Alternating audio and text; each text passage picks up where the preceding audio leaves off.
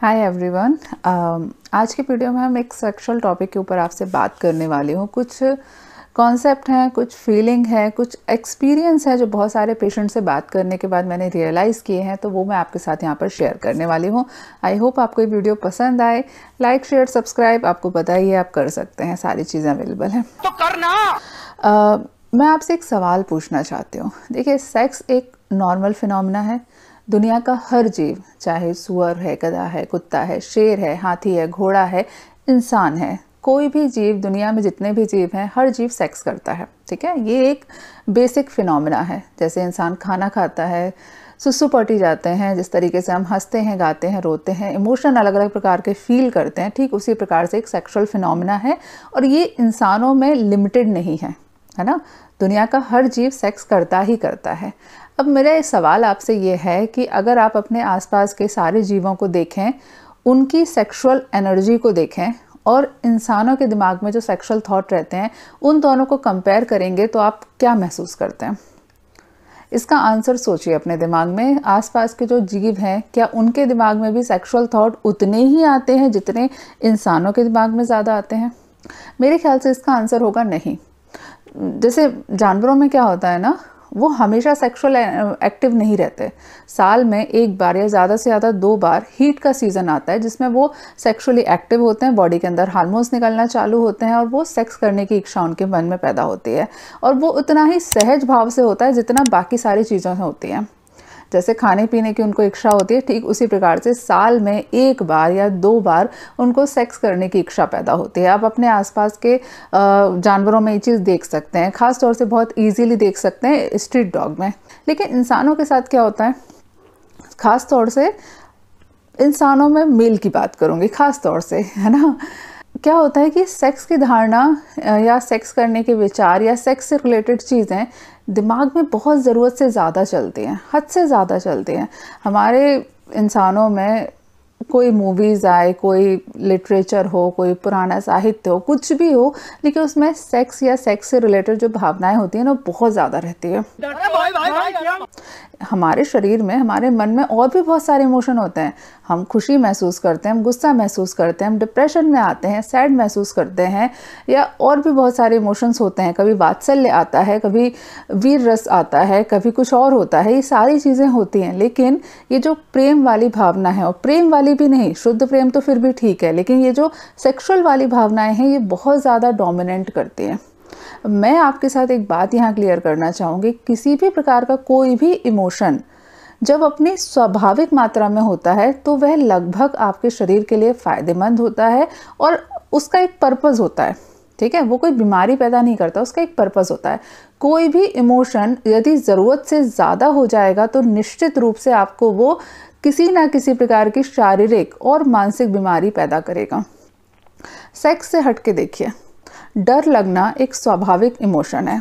हर व्यक्ति को डर लगता है, ठीक है? अब अगर किसी व्यक्ति को डर इतना ज़्यादा हो जाए कि वो उससे कंट्रोल नहीं कर पाए अननेसेसरी में हमेशा डर लग रहा है। घर से बाहर निकल रहे हैं, डर लग रहा है। पशु पक्षियों से, जानवरों से डर लग रहा है। घर से बाहर निकलते कोई कुत्ता दिखाई देता है तो पहला थॉट आता है कि कुत्ता हमें काट लेगा। रास्ते में कोई गाय दिखाई देती है, कोई सांड दिखाई देता है तो पहला थॉट आता है कि ये हमें मार देगा। कोई गाड़ियाँ चल रही हैं तो ऐसा लगता है कि हम बस मरने ही वाले हैं। तो अगर किसी व्यक्ति को स्वाभाविक रूप से डर लग रहा है तो तो नेचुरल है, लेकिन किसी व्यक्ति को इतना डर लगने लगे कि उसे कंट्रोल नहीं कर पाए तो अल्टीमेटली क्या होगा? वो उसको बीमार कर देगा। शारीरिक रूप से भी, मानसिक रूप से भी। दोनों तरीके से व्यक्ति बीमार हो जाएगा। इसी प्रकार से हंसना एक इमोशन है, खुश रहना। अब कोई व्यक्ति यदि बिना मतलब के हमेशा ही हंसता रहे, हद से ज़्यादा हँसी आ रही है। कंट्रोल नहीं कर पा रहे। लाइफ में हर चीज़ को बहुत ही ज़्यादा लाइटली लेके चल रहे हैं। किसी चीज़ को लेके सीरियसली नहीं है। कुछ भी हो रहा है कैरियर में कुछ भी हो रहा है रिलेशनशिप में कुछ भी हो रहा है, लेकिन हम तो अपने स्वर जैसी मस्ती में मस्त है, कोई टेंशन नहीं है। अगर कोई व्यक्ति इस हद तक टेंशन फ्री हो जाए भाई हमको तो कोई टेंशन ही नहीं है, हम तो मस्त हैं बिल्कुल। तो सुनने में बड़ा अच्छा लगेगा, लेकिन अल्टीमेटली वो अपनी लाइफ में कुछ भी सक्सेस गेन नहीं कर पाएँगे। फाइनेंशियली रूप से भी अल्टीमेटली ब्रोक हो जाएँगे इमोशनल रूप में भी अल्टीमेटली उनको कहीं ना कहीं लॉस होगा। क्योंकि अगर आप हद से ज़्यादा मस्ती में हो, आप किसी के दुख को नहीं समझ रहे हो, आप किसी भी चीज़ को प्रॉब्लम को सीरियसली नहीं ले रहे हो, उसके आंसर सोचने का प्रयास नहीं कर रहे हो तो अल्टीमेटली आपके जो रिलेशन होते हैं ना, वो कहीं ना कहीं ब्रेक हो जाते हैं। ठीक उसी प्रकार से, जैसे मैंने दो इमोशन का एग्ज़ाम्पल दिया, ठीक उसी प्रकार से सेक्सुअल एनर्जी भी एक इमोशन है। यदि कोई व्यक्ति हद से ज़्यादा सेक्स के बारे में सोचता है, अपनी बाकी सारी लाइफ की जो चीज़ें होती हैं, उनको बैक फुट में लेके चलते हो, लेकिन आपके दिमाग में कंटिन्यूसली सेक्स के थॉट आ रहे हैं तो ये निश्चित रूप से आपको बीमार करते हैं। अब ये दोनों प्रकार से हो सकता है। कुछ लोग ऐसे होंगे जिन्होंने पहले एक्सेसिव सेक्स या मस्टरबेशन किया, अब उनको सेक्सुअल प्रॉब्लम हो रही है, जिसके लिए वो डॉक्टर के पास में आए हैं। कई लोग ऐसे भी होते हैं जो वर्तमान समय में इस प्रकार से एक्सेसिव मस्टरबेशन या एक्सेसिव सेक्स कर रहे होते हैं। दोनों ही व्यक्ति अपने आप को प्रॉब्लम में डाल रहे हैं। यहाँ मैं स्पेशली बोलूँगी उन लोगों के लिए जिन्होंने पहले सेक्सुअल बहुत ज़्यादा मस्टरबेशन वगैरह किया, लेकिन वर्तमान समय में उनको प्रॉब्लम हो गई है इरेक्टाइल डिसफंक्शन या कुछ भी और, किसी भी इस प्रकार की। कई पेशेंट मेरे पास अपॉइंटमेंट बुक करते हैं। 18-20 साल की एज के हैं 18 साल के हैं 20 साल के हैं 22 साल के हैं, और जब वो अपना वेबसाइट पे फॉर्म भरते हैं तो उसमें दुनिया भर की चीज़ें लिखी रहती है कि मैंने ऐसा किया, मैंने वैसा किया, मेरा ये हो गया, मेरा वो हो गया। अब मुझे सेक्शुअल प्रॉब्लम है, मुझे एक्साइटमेंट नहीं आ रहा है, मुझे मॉर्निंग इरेक्शन नहीं आ रहा है, मुझे ये नहीं हो रहा, वो नहीं हो रहा। उन सभी लोगों को मैं एक बात बताना चाहूँगी कि ये जो टाइम होता है ना 18 साल 20 साल 22 साल 25 साल, ये टाइम आपकी ज़िंदगी का पीक टाइम होता है। वैसे तो ज़िंदगी में रीस्टार्ट आप कभी भी कर सकते हो। 60 साल में भी लोग स्टार्टअप खोज लेते हैं 60 साल में भी लोग पढ़ाइयाँ करते हैं 40 साल में लोग वापस कॉलेज ज्वाइन करते हैं, लेकिन मानना तो पड़ेगा कि ये सब एक्सेप्शन होता है। जनरली आपकी लाइफ का जो पीक टाइम होता है ना, वो 18 से लेके 24-25 साल तक होता है। इस इस ज़िंदगी को, इस टाइम पीरियड को यदि आपने अपने प्रोडक्टिव कामों में यूज़ कर लिया, तब आपकी लाइफ सही सही रास्ते पे चली जाती है। अब ये जो टाइम है, अगर इस समय पर आपके दिमाग में हद से ज़्यादा सेक्सुअल थॉट है कि मेरे को मॉर्निंग इरेक्शन नहीं आ रहा, मेरे को मॉर्निंग इरेक्शन नहीं आ रहा, या मैं जल्दी डिस्चार्ज हो जाता हूँ तो अल्टीमेटली आप क्या करोगे? आप अपनी लाइफ को स्पॉइल कर दोगे। तो वो सारे लोग जिनको इस प्रकार से प्रॉब्लम है प्लीज़ लाइफ में थोड़ा सा ना रिलैक्स हो जाओ। ये एक पार्ट है। ठीक है? सेक्स वाली जो चीज़ें हैं ना, वो एक पार्ट है। अपना फोकस अपने कैरियर के ऊपर रखिए, पढ़ाई के ऊपर रखिए फ़िज़िकल फिटनेस के ऊपर रखिए, सही सोर्स से सही सेक्स एजुकेशन लेने का प्रयास करिए, अपनी पर्सनैलिटी को इम्प्रूव करिए।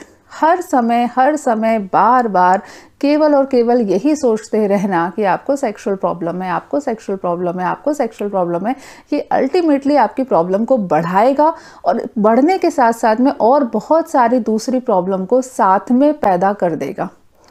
अल्टीमेटली आपको पूरी तरीके से आपकी लाइफ स्पॉयल हो जाएगी, क्योंकि एक तो आपने अपना टाइम वेस्ट कर दिया, अपनी एनर्जी वेस्ट कर दी, जिस समय को आप अपनी पढ़ाई में लगा सकते थे, जिस समय को आप अपने कैरियर को ज़्यादा अच्छा बनाने में लगा सकते थे, जिस समय को आप अपनी पर्सनैलिटी इंप्रूवमेंट में लगा सकते थे, उस समय पर आपने केवल मॉर्निंग इरेक्शन नहीं आ रहे मॉर्निंग इरेक्शन नहीं आ रहे, ये नहीं हो रहा, वो नहीं हो रहा, ऐसा नहीं हो पाता, वैसा नहीं हो पाता, जल्दी डिस्चार्ज हो जाता है नाइटफॉल हो जाता है, ये फालतू के टॉपिक के ऊपर लगा दिया।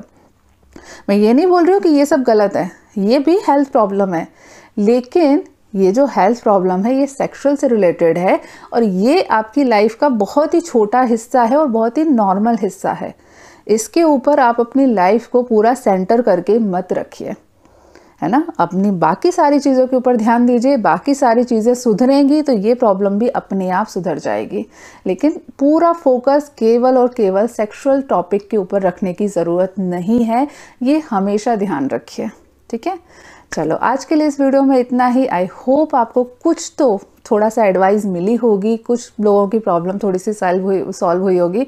वीडियो अच्छा लगा तो प्लीज़ कमेंट करके ज़रूर बताइएगा। और यूट्यूब शॉर्ट्स भी आने लगे हैं तो प्लीज़ वहाँ पर भी आप कमेंट करते रहें तो मुझे बेहतर लगेगा, बहुत अच्छा लगेगा। मैं एक एक मिनट में कुछ टॉपिक शेयर करने की कोशिश कर रही हूँ। इंस्टाग्राम और फेसबुक दोनों ही एक्टिव हैं, उन दोनों की लिंक मैंने डिस्क्रिप्शन में दे दी है। ठीक? चलो बाय बाय थैंक यू